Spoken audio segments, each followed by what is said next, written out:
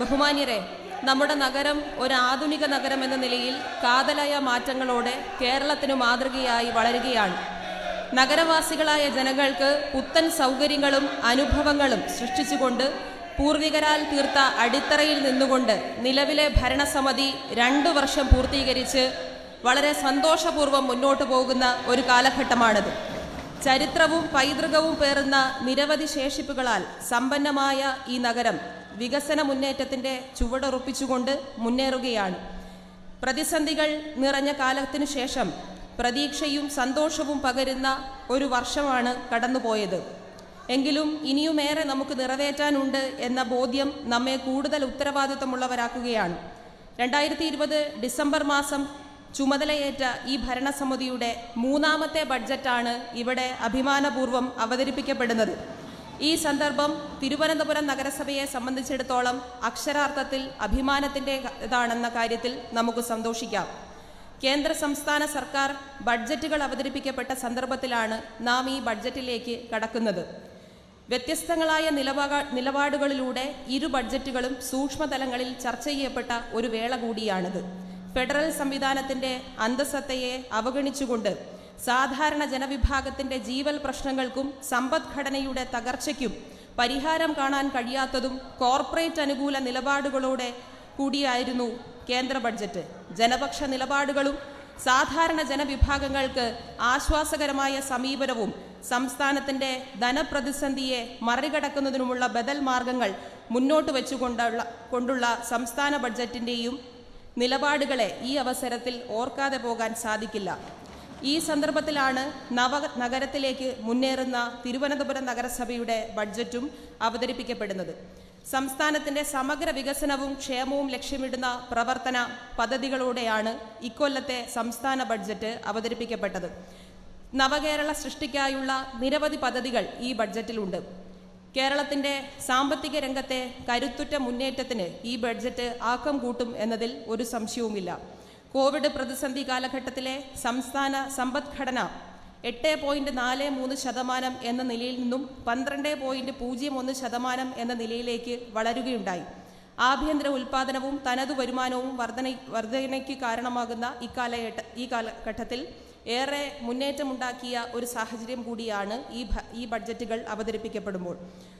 വർഷങ്ങളായുള്ള നിരവധി പ്രതിസന്ധികൾ സാമ്പത്തിക രംഗത്ത് ഏറെ പിന്നോട്ടടിച്ചെങ്കിലും അതിൽ നിന്നുള്ള തിരിച്ചുവരവിന്റെ പാതയിൽ ബഹുദൂരം മുന്നേറാൻ ഇക്കാലയളവിൽ സംസ്ഥാനത്തിന് സാധിച്ചിട്ടുണ്ട് എന്ന് നമുക്കറിയാം. നോട്ട് നിരോധനം അശ്യാ അശാസ്ത്രീയമായി നടപ്പിലാക്കിയ ജി എസ് ടി ഓഖി പ്രളയം മഹാവ്യാധികൾ സാമ്പത്തിക തകർച്ച വിലക്കയറ്റം തുടങ്ങി തുടർച്ചയായി നാം നേരിട്ട പ്രതിസന്ധികളിൽ നിന്നും മുന്നേറി മികച്ച വളർച്ചയുടെ പാതയിലാണ് നമ്മുടെ കേരളം.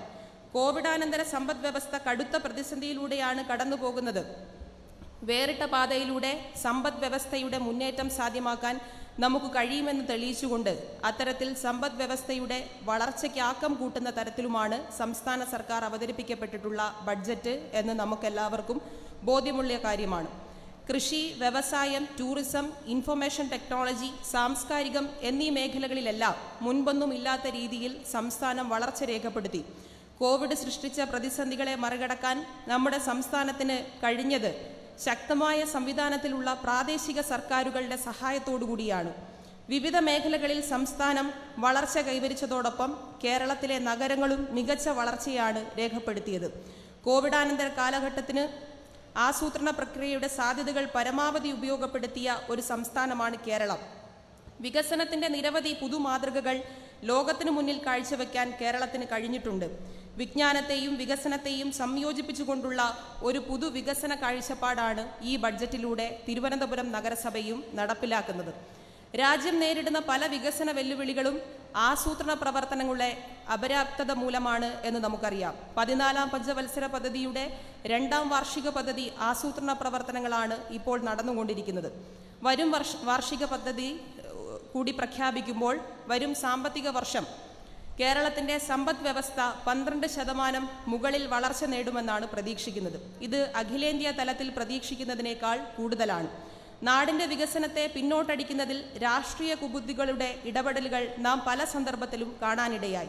വയൽക്കിളികളെന്നും മറ്റുമെല്ലാം ജനങ്ങളെ ഭിന്നിപ്പിച്ച് വികസനം മുടക്കാനുള്ള കൊടിയ ശ്രമങ്ങൾ പലത് നടന്നെങ്കിലും നിശ്ചയിച്ച ഭാഗത്തുകൂടി തന്നെ ആറുവരിപ്പാത യാഥാർത്ഥ്യമാക്കുന്നതിനുള്ള പ്രതിബദ്ധത സംസ്ഥാന സർക്കാരിനുണ്ടായി. തണ്ണീർമുക്കം ബണ്ട് ഹൈവേ വൈറ്റില കുണ്ടന്നൂർ മേൽപ്പാലം നിരവധിയായ പാലങ്ങൾ റോഡുകൾ എന്നിവ പൂർത്തിയാക്കി നാടിന് സമർപ്പിക്കാൻ ശ്രീ പിണറായി വിജയൻ നേതൃത്വം കൊടുക്കുന്ന പിണറായി സർക്കാരിന് സാധിച്ചിട്ടുണ്ട്.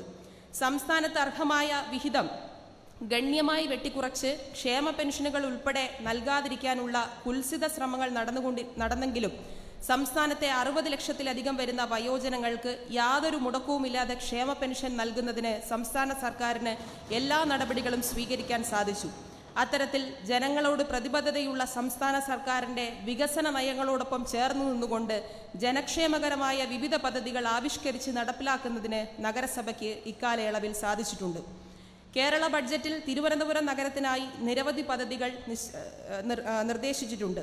നഗരങ്ങൾക്കായി അടിസ്ഥാന സൗകര്യ വികസനത്തിനും നഗര പുനരുജ്ജീവനത്തിനും നഗര സൗന്ദര്യവൽക്കരണത്തിനും മുൻഗണന നൽകി അന്താരാഷ്ട്ര ഏജൻസികളുടെ സഹായത്തോടുകൂടി നഗരത്തിൽ മാസ്റ്റർ പ്ലാൻ തയ്യാറാക്കുക തുടങ്ങിയ വിവിധ പദ്ധതികളാണ് നടപ്പിലാക്കുന്നത്. കൂടാതെ medical tech inno innovation park regional cancer സെന്ററിനെ state cancer സെന്ററായി ഉയർത്തുന്നത് outer ring road Sreekaryam Pattom മേൽപ്പാലങ്ങളുടെ നിർമ്മാണം തുടങ്ങിയവ തിരുവനന്തപുരം നഗരത്തെ പുതിയ തലങ്ങളിലേക്ക് ഉയർത്തും. ഇതിന്റെ അനുകൂലങ്ങളായ നിർദ്ദേശങ്ങളാണ് ഇത്തവണത്തെ നഗരസഭാ ബഡ്ജറ്റിലും ഉൾക്കൊള്ളിച്ചിരിക്കുന്നത്. വിഴിഞ്ഞം പദ്ധതി ഉൾപ്പെടെ നഗരത്തെ ലോകശ്രദ്ധ ആകർഷിക്കുന്ന തരത്തിലുള്ള നിരവധി സാധ്യതകളാണ് നമുക്ക് മുന്നിൽ തുറക്കുന്നത്. നഗരത്തിന്റെ മുഖഛായ മാറ്റുന്ന തരത്തിലാണ് ഈ വികസനങ്ങൾ വരുന്നത്. ഇതോടൊപ്പം തന്നെ തലസ്ഥാന നഗരത്തിന്റെ വ്യവസായ വാണിജ്യ സാധ്യതകൾ ഉപയോഗപ്പെടുത്തിക്കൊണ്ട് അയ്യായിരം കോടിയിലധികം ചിലവ് പ്രതീക്ഷിക്കുന്ന പുതിയ ടൗൺഷിപ്പുകൾ വിഴിഞ്ഞം റിംഗ് റോഡിന് അനുബന്ധമായി ഉയർന്നുവരും വിഴിഞ്ഞം തുറമുഖം പൂർണതോതിൽ പ്രവർത്തനം ആരംഭിക്കുന്നതോടുകൂടി തിരുവനന്തപുരം നഗരം രാജ്യത്തിന്റെ ഗ്രോത്ത് എഞ്ചിനായി മാറും എന്നാണ് ഈ മേഖലയിൽ പ്രമുഖർ വിലയിരുത്തുന്നത്. ഇതോടൊപ്പം നമ്മുടെ മനുഷ്യവിഭവശേഷിയും നൈപുണ്യശേഷിയും മെച്ചപ്പെടുത്തേണ്ടത് വിഴിഞ്ഞത്ത് തുറമുഖം മൂലം ഉണ്ടാകുന്ന സാധ്യതകളെ പ്രയോജ പ്രയോജനപ്പെടുത്തുന്നതിന് അനിവാര്യമാണ്. നഗരസഭയുടെ നേതൃത്വത്തിൽ കേരള അക്കാഡമി ഓഫ് സ്കിൽ എംപ്ലോയ്മെന്റുമായി ചേർന്ന് തൊഴിൽമേള സംഘടിപ്പിക്കുന്നതാണ്. ഇതിന്റെ മുന്നോടിയായി തൊഴിൽമേളയിൽ പങ്കെടുക്കുന്നവർക്ക് സോഫ്റ്റ് സ്കിൽ ട്രെയിനിംഗ് നൽകുന്നതിനുള്ള നടപടികൾ സ്വീകരിക്കുന്നതാണ്. കഴിഞ്ഞ ഒരു വർഷക്കാലം അക്ഷരാർത്ഥത്തിൽ നഗരഭരണം നഗരഭരണ സംവിധാനം സൂക്ഷ്മതയോടെ പ്രവർത്തിച്ചുവെങ്കിലും ഏറെ വെല്ലുവിളികൾ നേരിട്ട ഒരു സന്ദർഭമായിരുന്നു. ഭരണ സംവിധാനത്തെയും ഓഫീസ് സംവിധാനത്തെയും തകടം മറിക്കുന്നതിനു വേണ്ടിയുള്ള വലിയ പരിശ്രമങ്ങൾ നാം കണ്ടതാണ്. അടിസ്ഥാനരഹിത ആരോപണങ്ങളുടെ ശബ്ദ കോലാഹലങ്ങളാൽ മുഖരിതമായ ഓഫീസ് അന്തരീക്ഷം നഗരസഭയുടെ വികസനക്ഷേമ പ്രവർത്തനങ്ങളെ തടസ്സപ്പെടുത്തുന്നതും ജനങ്ങളെ ഏറെ ബുദ്ധിമുട്ടിലാക്കുന്നതും നാം കാണാനിടയായി. ജീവനക്കാരെയും പൊതുജനങ്ങളെയും ഓഫീസിലേക്ക് കയറ്റാതെയും നഗരസഭയെ ഒരു അക്രമ കേന്ദ്രമാക്കുന്നതിനുള്ള ജനപ്രതിനിധികൾ ഉൾപ്പെടെയുള്ളവരുടെ പ്രവർത്തനം ഈ ഓഫീസിനെ മുൻപൊരിക്കലും ഇല്ലാത്ത വിധം പ്രതിസന്ധിയിലാക്കാൻ വേണ്ടിയാണ് ശ്രമിച്ചത്.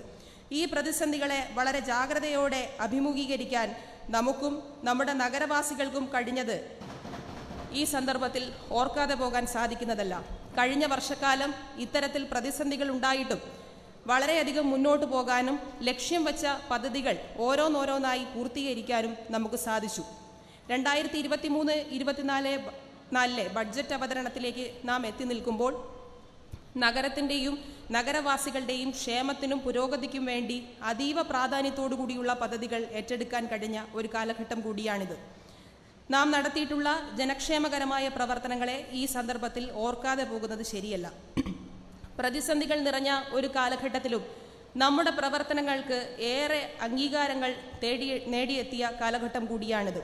കേരളത്തിലെ മികച്ച കോർപ്പറേഷനുള്ള സ്വരാജ് ട്രോഫി രണ്ടായിരത്തി ഇരുപത്തി മൂന്ന് ആദ്യമായി നമുക്ക് കരസ്ഥമാക്കാൻ കഴിഞ്ഞതിലൂടെ നമ്മുടെ ഉത്തരവാദിത്തങ്ങളും കടമകളും അതിനോടൊക്കെ നീതി പുലർത്താൻ നമുക്ക് സാധിച്ചു എന്ന ആത്മവിശ്വാസവും കരുത്തു നൽകുന്നതാണ്. അവാർഡിന് അർഹമാകുന്ന തരത്തിൽ എല്ലാ മേഖലയിലും പ്രവർത്തനം ഏറ്റെടുക്കാൻ കഴിഞ്ഞു എന്നത് നമ്മെ സംബന്ധിച്ചിടത്തോളം അഭിമാനമാണ്. ഇ ഗവേണൻസ് പദ്ധതി നിർവഹണം നികുതി വരുമാനം തൊഴിലുറപ്പ് ഹരിതകർമ്മസേന പ്രവർത്തനങ്ങൾ മാലിന്യ സംസ്കരണ രംഗത്തെ പ്രവർത്തനങ്ങൾ ലൈഫ് മിഷൻ സാമൂഹ്യ സുരക്ഷാ പെൻഷൻ എന്നിങ്ങനെ എല്ലാ മേഖലയിലും പ്രവർത്തന മികവിന്റെ അടിസ്ഥാനത്തിലാണ് ഈ അംഗീകാരം ലഭിച്ചത്. ഇക്കാലയളവിലാണ് കേന്ദ്ര സർക്കാരിന്റെ കീഴിലുള്ള നീതി ആയോഗ് സുസ്ഥിര വികസന സൂചികയിൽ രാജ്യത്ത് നാലാമതും കേരളത്തിൽ ഒന്നാമതുമായി തിരുവനന്തപുരം നഗരസഭയെ അംഗീകരിച്ചത്. അതുപോലെ ഇ ഗവർണൻസ് വഴി ഭരണരംഗത്ത് മികവ് തെളിയിച്ച സംസ്ഥാനത്തിനുള്ള സ്ഥാപനങ്ങൾക്കുള്ള പുരസ്കാരങ്ങളിൽ ഇ സിറ്റിസൺ സർവീസ് ഡെലിവറി രംഗത്ത് ഒന്നാം സ്ഥാനവും മികച്ച ഭിന്നശേഷി സൗഹൃദ നഗരസഭയ്ക്കുള്ള സംസ്ഥാന സർക്കാരിന്റെ പുരസ്കാരവും തിരുവനന്തപുരം നഗരസഭയ്ക്ക് ലഭിക്കുകയുണ്ടായി. ഭിന്നശേഷിക്കാരുടെ ക്ഷേമത്തിനും സംരക്ഷണത്തിനുമായി നൂതന പദ്ധതികൾ ആവിഷ്കരിച്ച് നടപ്പിലാക്കുന്നതിന്റെ ഭാഗമായാണ് നഗരസഭയ്ക്ക് പുരസ്കാരം ലഭിച്ചത്. വ്യവസായ വകുപ്പിന്റെ ഒരു വർഷം ഒരു ലക്ഷം സംരംഭം എന്ന പദ്ധതി പ്രകാരം ഏറ്റവും കൂടുതൽ സംരംഭങ്ങൾ തുടങ്ങിയ തദ്ദേശ സ്വയംഭരണ സ്ഥാപനം എന്നതിലും തിരുവനന്തപുരം നഗരസഭ ഒന്നാമതെത്തി. അതുപോലെ തന്നെ സംസ്ഥാന വനിതാ കമ്മീഷൻ ഏർപ്പെടുത്തിയ പ്രഥമ മികച്ച ജാഗ്രതാ സമിതിക്കുള്ള പുരസ്കാരം തിരുവനന്തപുരം നഗരസഭയ്ക്ക് ലഭിച്ചു. സ്ത്രീകൾക്കും കുട്ടികൾക്കും നേരെയുള്ള അതിക്രമങ്ങൾ തടയുന്നതിന്റെ ഭാഗമായി വാർഡുകളിൽ ജാഗ്രതാ സമിതികൾ രൂപീകരിച്ച് നടത്തിയ പ്രവർത്തനത്തിന്റെ മികവിനാണ് ഈ പുരസ്കാരം ലഭിച്ചത്. സംസ്ഥാന സർക്കാർ സംഘടിപ്പിച്ച ഗ്ലോബൽ എക്സ്പോ രണ്ടായിരത്തി ഇരുപത്തി മൂന്നിന്റെ ഭാഗമായി മികച്ച ഹരിതകർമ്മസേനയ്ക്കുള്ള അംഗീകാരവും നമുക്ക് ഈ വർഷം ലഭിച്ചു. കേരളത്തിലെ ഏറ്റവും വലിയ തദ്ദേശ സ്വയംഭരണ സ്ഥാപനമാണ് തിരുവനന്തപുരം മുനിസിപ്പൽ കോർപ്പറേഷൻ. ഇരുന്നൂറ്റി പതിനാല് പോയിന്റ് എട്ട് ആറ് ചതുരശ്ര കിലോമീറ്റർ വിസ്തൃതിയും രണ്ടായിരത്തി പതിനൊന്നിലെ സെൻസസ് പ്രകാരം ഒൻപത് പോയിന്റ് ആറ് എട്ട് ലക്ഷം ജനസംഖ്യയും ഉണ്ടായിരുന്ന ഈ നഗരത്തിന്റെ ഇന്നത്തെ ജനസംഖ്യ പതിനൊന്ന് പതിനൊന്ന് ലക്ഷത്തിൽ മുകളിലുണ്ടാകും എന്നാണ് കരുതുന്നത്. നൂറ് വാർഡുകളും മെയിൻ ഓഫീസും അതിനു പുറമെ പതിനൊന്ന് സോണൽ ഓഫീസുകളും ഹെൽത്ത് സർക്കിൾ ഓഫീസും മറ്റനുബന്ധ ഓഫീസുകളും ഉൾപ്പെടെ വലിയ ഒരു ഓഫീസ് ശൃംഖലയാണ് നമ്മുടെ നഗരസഭയ്ക്ക് കീഴിൽ പ്രവർത്തിക്കുന്നത്. ആയിരത്തി തൊള്ളായിരത്തി ഇരുപതിൽ തിരുവിതാംകൂറിലെ ആദ്യ മുനിസിപ്പാലിറ്റിയായി തിരുവനന്തപുരം ആയ തിരുവനന്തപുരം ആയിരത്തി തൊള്ളായിരത്തി നാൽപ്പതിൽ മുനിസിപ്പൽ കോർപ്പറേഷനായി മാറുകയാണ് ചെയ്തത്. തുടർന്ന് ഐക്യ കേരള രൂപീകരണത്തോടെ സംസ്ഥാന തലസ്ഥാനമായി തിരുവനന്തപുരം മാറുകയും ചെയ്തു. സംസ്ഥാന തലസ്ഥാനം എന്ന സംസ്ഥാന നഗര തലസ്ഥാന നഗരം എന്ന നിലയിൽ വിപുലമായ സൗകര്യങ്ങളുടെ നഗരം വളരുകയും ചെയ്തു. തലസ്ഥാന നഗരം എന്ന നിലയിലും സംസ്ഥാന സർക്കാർ അർദ്ധ സർക്കാർ ഓഫീസുകളുടെ ആസ്ഥാനം സ്ഥിതി ചെയ്യുന്ന നഗരമെന്ന നിലയിലും നിരവധി ആളുകളാണ് ദിനംപ്രതി നമ്മുടെ നഗരത്തിൽ വന്നു പോകുന്നത്. ദിനംപ്രതി രണ്ട് ലക്ഷത്തിൽ കൂടുതൽ ആളുകൾ ഈ നഗരത്തിൽ വന്നു പോകുന്നതായി ആണ് കണക്കാക്കുന്നത്.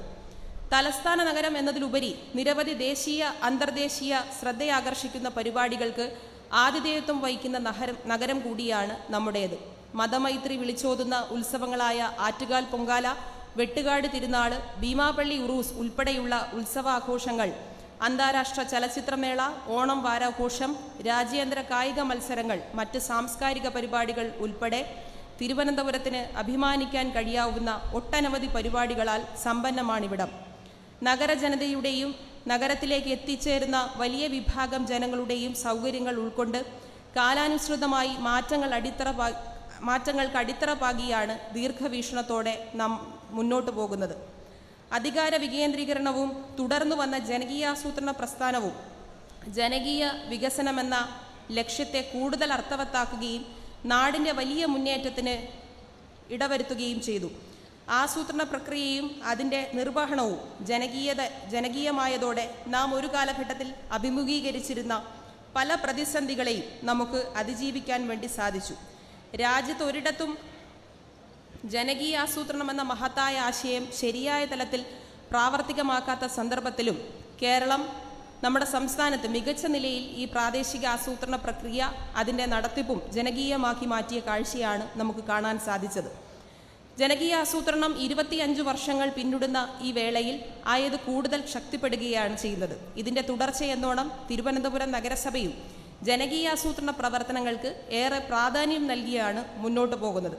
ഇരുപത്തഞ്ച് വർഷത്തെ പ്രാദേശിക ആസൂത്രണ പ്രവർത്തനങ്ങൾ പൂർത്തിയാകുമ്പോൾ അടിസ്ഥാന പ്രശ്നങ്ങളായ പാർപ്പിടം കുടിവെള്ളം വൈദ്യുതി റോഡുകൾ എന്നീ എന്നിവ ഒരു പരിധിവരെ പരിഹരിക്കുന്നതിന് കേരളത്തിലെ പ്രാദേശിക സർക്കാരിന് സാധിച്ചിട്ടുണ്ട്. തൊഴിലില്ലായ്മ നൈപുണ്യ വികസനം ഉൽപാദന വർധനവ് വരുമാന വർധനവ് എന്നീ ലക്ഷ്യങ്ങൾക്ക് മുൻഗണന നൽകിയാണ് പ്രാദേശിക സർക്കാരുകൾ ഇപ്പോൾ പദ്ധതികൾ ആസൂത്രണം നടത്തുന്നത്. കോവിഡ് ഉൾപ്പെടെയുള്ള സാഹചര്യങ്ങൾ സൃഷ്ടിച്ച സാമ്പത്തിക തകർച്ചയെ തരണം ചെയ്യുന്നതിന് പ്രാദേശിക സർക്കാരുകൾക്ക് നിർണായക പങ്കുകളാണുള്ളത് എന്ന കാഴ്ചപ്പാടാണ് സംസ്ഥാന സർക്കാരിനുള്ളത്.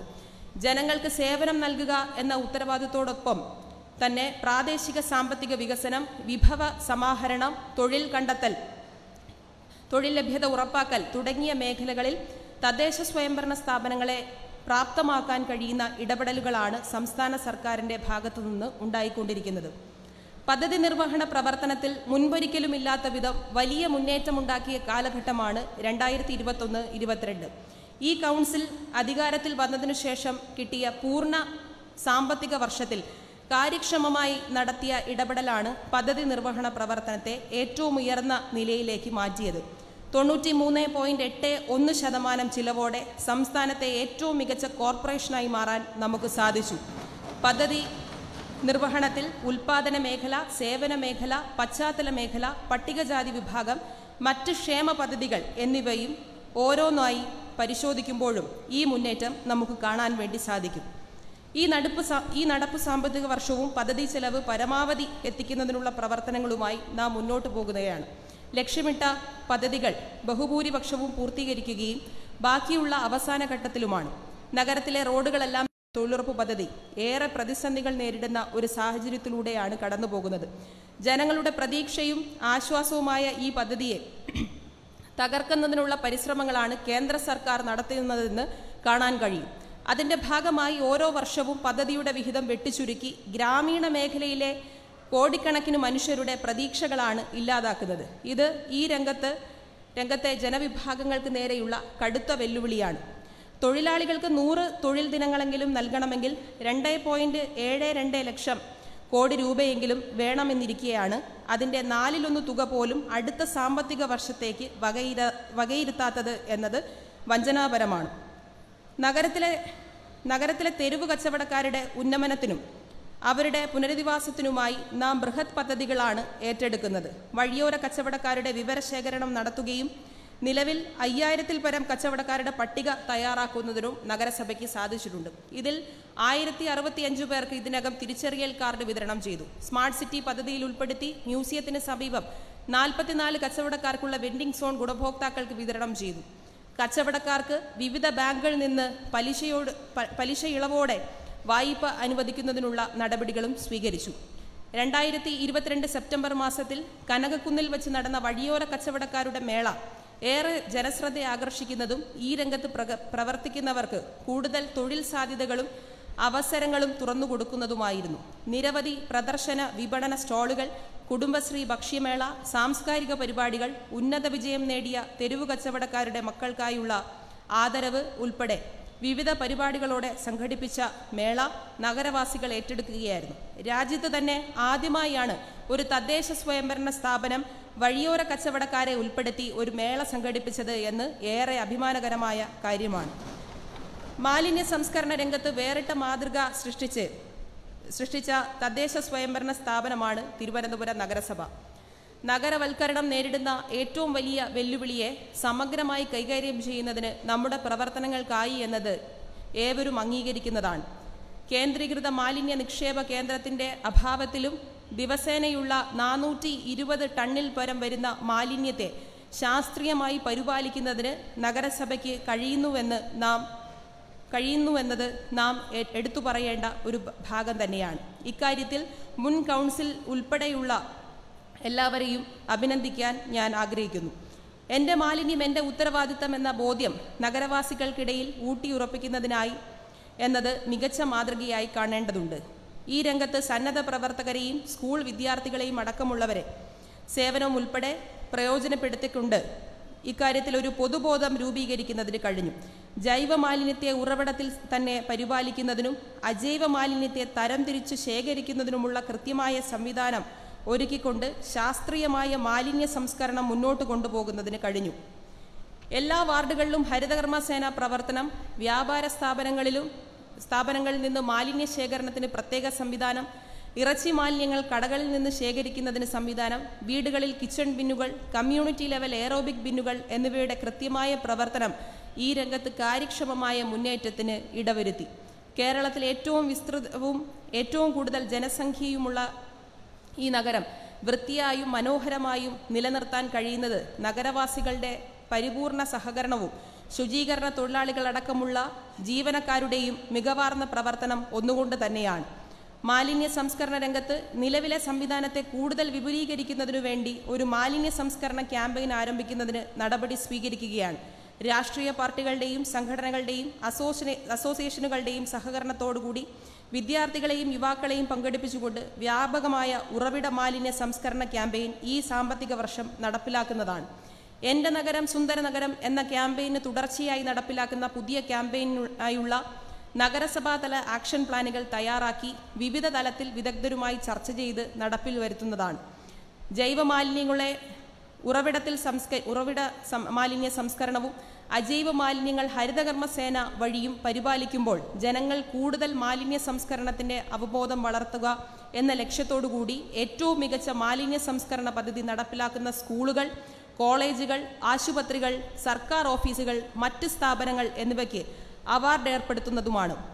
ഇത്തരത്തിലുള്ള പ്രോത്സാഹന പദ്ധതിയിലൂടെ മാത്രമേ മാലിന്യ സംസ്കരണ പ്രവർത്തനങ്ങൾ ജനങ്ങളെ ബോധവൽക്കരിക്കാൻ കഴിയൂ. മാലിന്യ സംസ്കരണ സംവിധാനം വീടുകളിൽ ശരിയായി നടപ്പിലാക്കുന്നവർക്ക് നികുതി ഇളവ് നൽകുന്നതിനും നടപടിയുമായി നഗരസഭ മുന്നോട്ടു പോവുകയാണ്. കായിക മികച്ച താരങ്ങൾക്ക് അവസരം നൽകുന്നതിനും വേണ്ടി വിവിധ കായിക ഇട ഇനങ്ങൾ നഗരസഭാ കായിക ടീം രൂപീകരിച്ചു. ഇതിലേക്കായി മികച്ച താരങ്ങളെ കണ്ടെത്തുന്നതിന് സെലക്ഷൻ ട്രയൽസ് നടത്തുകയും ഫുട്ബോൾ വോളിബോൾ നീന്തൽ ഹാൻഡ്ബോൾ ബാസ്കറ്റ്ബോൾ അത്ലറ്റിക്സ് എന്നീ വിഭാഗങ്ങളിൽ ടീമുകൾ രൂപീകരിച്ച് പരിശീലനം നടത്തുന്നതിനുള്ള നടപടികളും സ്വീകരിച്ചു. നഗരസഭയുടെ നേതൃത്വത്തിൽ ശംഖുമുഖത്ത് ഒരാഴ്ചക്കാലം നീണ്ടുനിന്ന തരത്തിൽ നടത്തിയ ബീച്ച് കായികമേള ഏറെ ജനശ്രദ്ധ ആകർഷിക്കുന്നതും നഗരത്തിലെ പ്രധാനപ്പെട്ട നിര